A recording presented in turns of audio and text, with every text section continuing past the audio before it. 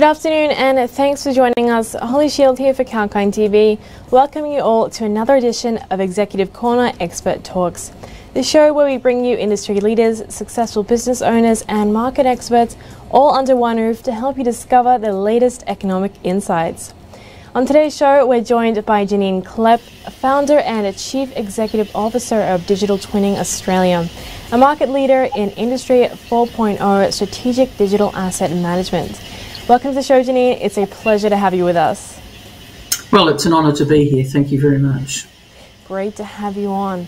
Now, DTA is quite young, founded in 2019, I believe, so just a few years ago. Congratulations on that three year mark. Thank you. Yes, um, it's taken us a little while to uh, get here. Um, my career is uh, fairly extensive, and the people that I've surrounded myself with are also um, highly credible um, experts in their field. So, um, whilst we launched this business in uh, 2019, we come with a fairly strong pedigree and um, expertise sitting behind us. Well, that's very good to hear that you have that strong foundation. So, to kick things off, for those who might not know, what is digital twinning and how is it used in strategic asset management? Yes, look, in a very short space of time, digital twinning um, has acquired a number of different meanings. Um, everybody's got one. It's a little bit like having a shiny toy and a lolly, really. But um, and this is, is certainly creating a little bit of confusion for um, for people. So my team and I have been working with um, the a number of different inaugural global standards organisations to help define the term, and and more recently I've been invited by Standards Australia to join their digital twinning working group and also the IEC, which is um, an international group out of Switzerland. And again, the purpose of this is to actually try and create a common understanding and a common language.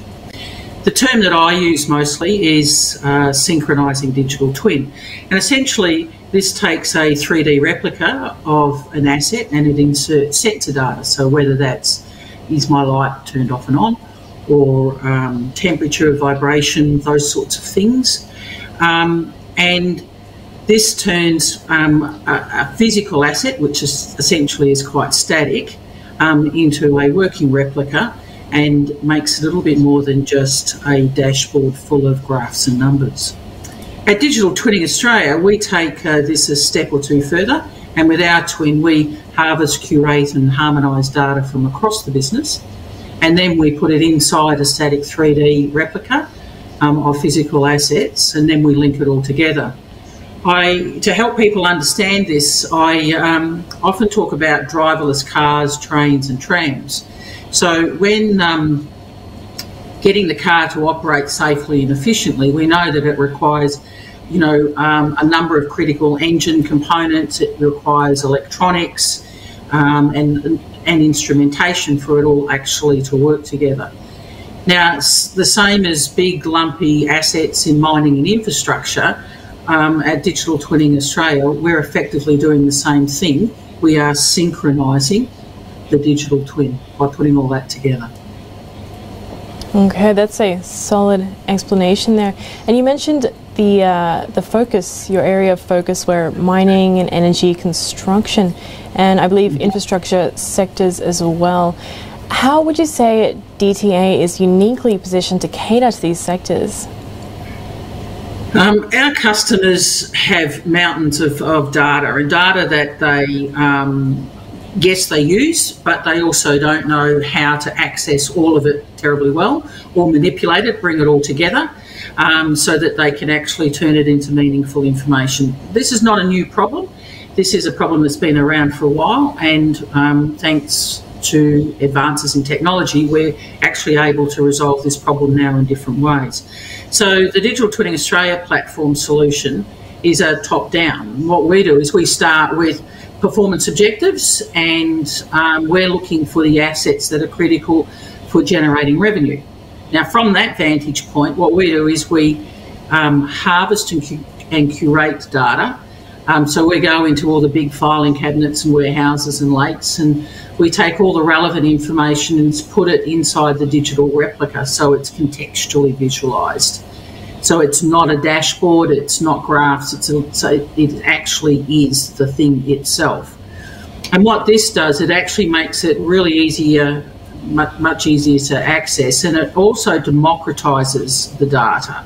So what that means is that people from across the organisation, it doesn't matter whether they're home, in the office, they're geographically somewhere else, is that they can all actually look at the same thing and we can get all the data relevant to that thing, the asset, in one place so that they then are able to have those um, complex conversations and solve problems around how to optimise the cost to operate their business, how to make products cheaper, how to automate um, something that's unsafe or hard for customers to access, those sorts of bigger problems. So they're looking at it from a top down perspective and they're looking at it from not only a revenue perspective but also for their customers.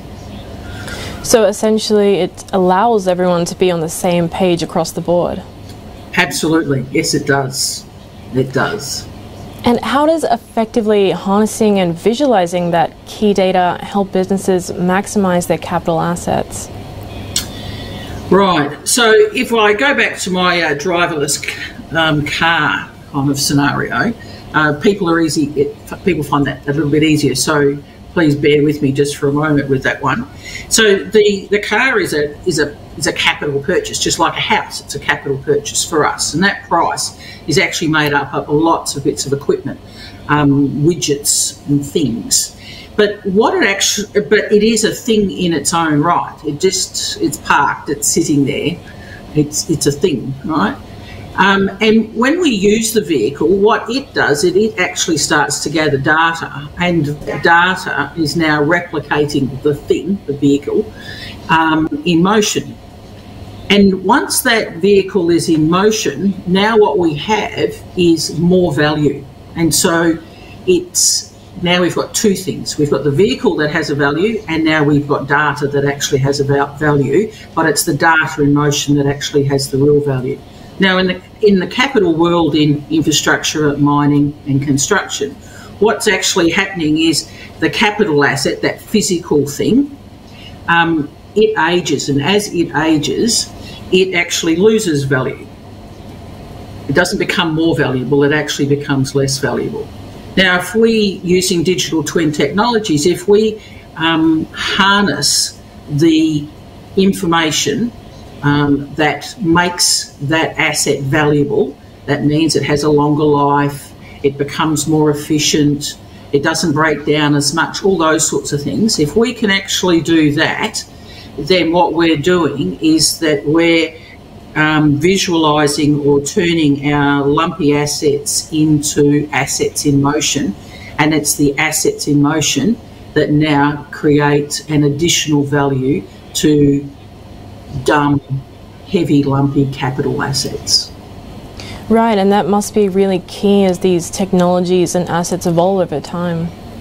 Yes, it does. And it does. And we've seen that um, over the last few years, particularly as we've seen the acceleration in technology, that we're now actually able to do things we used to dream about, whereas today um, it's like a, a, jigsaw has come together and all these things we dreamed about we can actually now do, which is wonderful. It's a wonderful thing.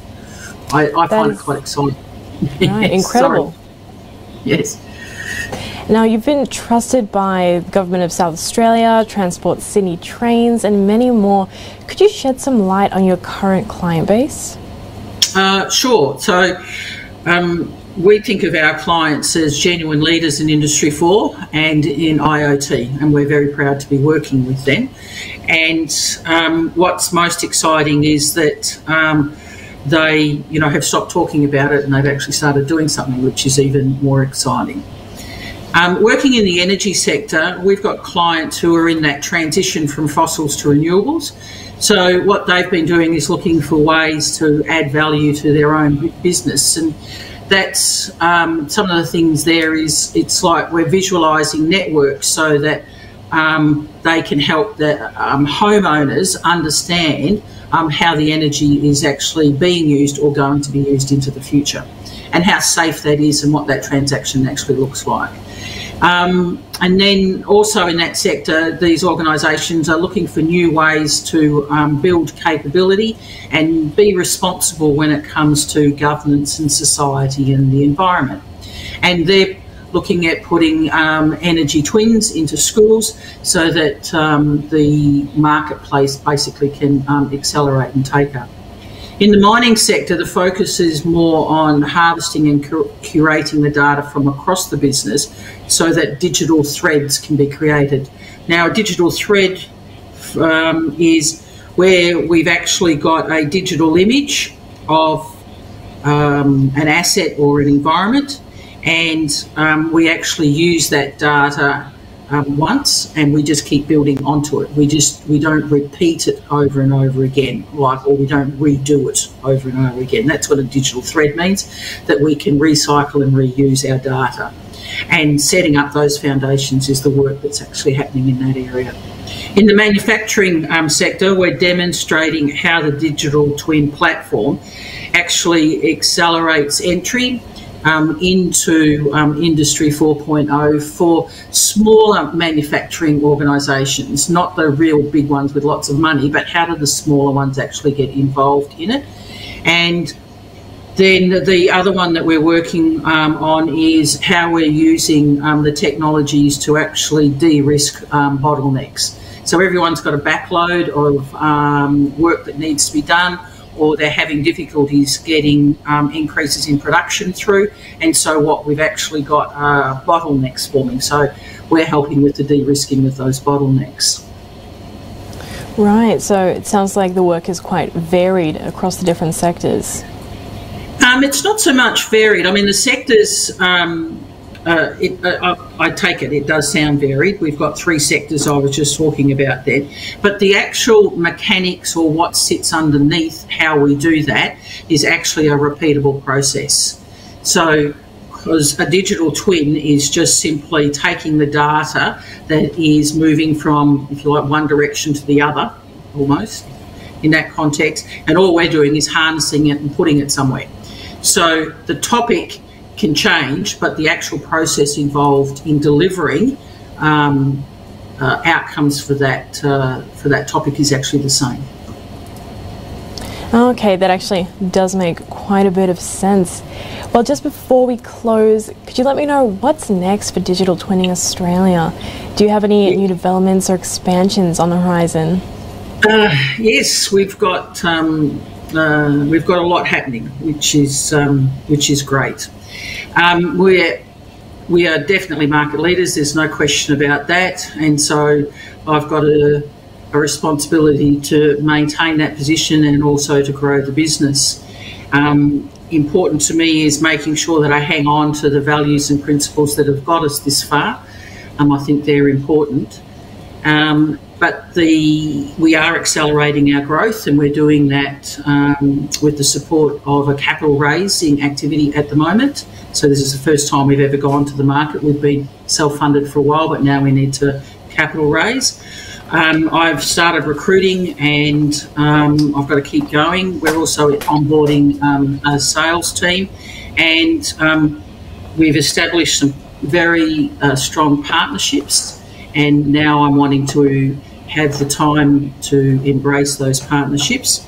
And while all that's going on, we're actually expanding into the um, APAC manufacturing sector. We've been invited in to um, help them, um, you know, create an industry 4.0 manufacturing sector. Um, they think that our technology, or they believe our technology, is the one that's actually going to get them there faster. And so um, we're there and we're helping them, and uh, it's uh, it's very exciting. Well, I must say, congratulations and good luck with the capital raising. We'll be keeping an eye on that, and we look forward yes. to see your acceleration. Thank you. I'll come back and tell you all about it. There's lots of lessons in all of this, so I'm happy to share. That would be great. Well, on that note, it's just about time to wrap up, but I've got to thank you so much for joining us today, Genéne. It's been great to hear your insights. My pleasure, and thank you, and thank you to your audience. And thanks for your time as well, viewers. Stay tuned for more live updates. And as we say here, stay apprised and invest wise with Kalkine.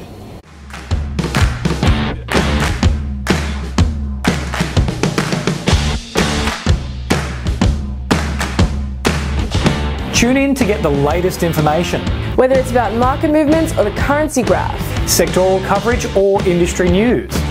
We cover it all on our news segments. Be on top of the latest news with Kalkine TV.